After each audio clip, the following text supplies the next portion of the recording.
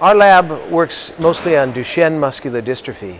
And today at the conference, I spoke about two different approaches to treating Duchenne muscular dystrophy, two different gene therapy based approaches. The first of these is called surrogate gene therapy. In surrogate gene therapy, we don't try to replace the missing gene, the missing dystrophin protein. We instead use a substitute gene, one that can substitute in function for it.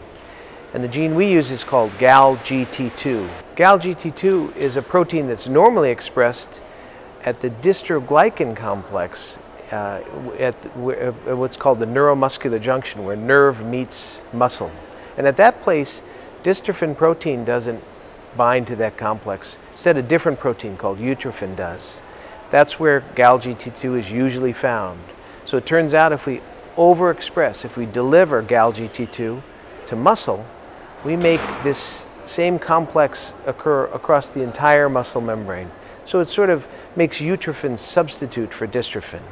It actually makes other proteins that are important for stabilizing the muscle turn up as well. So that's the surrogate gene approach, and we're already doing it in clinical trials in patients, this substitute. The second thing I talked about was a way of combining exon skipping and uh, gene therapy. So in this case, we use a virus, the AAV virus. We use that virus to deliver um, a form of RNA that never gets turned into a protein. But that RNA that we deliver, called a U7 small nuclear RNA, can interfere with splicing. And it interferes with splicing very efficiently.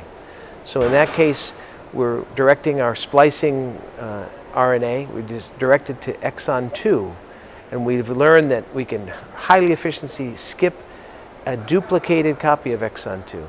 As a result, we can make a perfectly normal dystrophin, or if we skip too much, we make a kind of dystrophin that's really very protective, that allows, for example, people who walk around making that type of dystrophin, they walk into their seventh decade or their eighth decade. So it's really very functional. So we call it virally mediated exon skipping was something first developed here in France with funding from the AFM long ago, and we now apply it to Exon 2 for Duchenne muscular dystrophy. The AFM is a terrific organization that has a worldwide impact in the uh, study and treatment of neuromuscular diseases, and Duchenne muscular dystrophy in particular.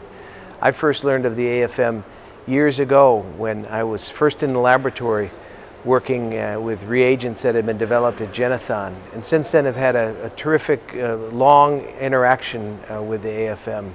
Uh, the AFM helped to fund a sabbatical year that I did here in Paris at the Institute of Myology, which really is one of the world's leading institutions for the coordinated care and research into muscle disease.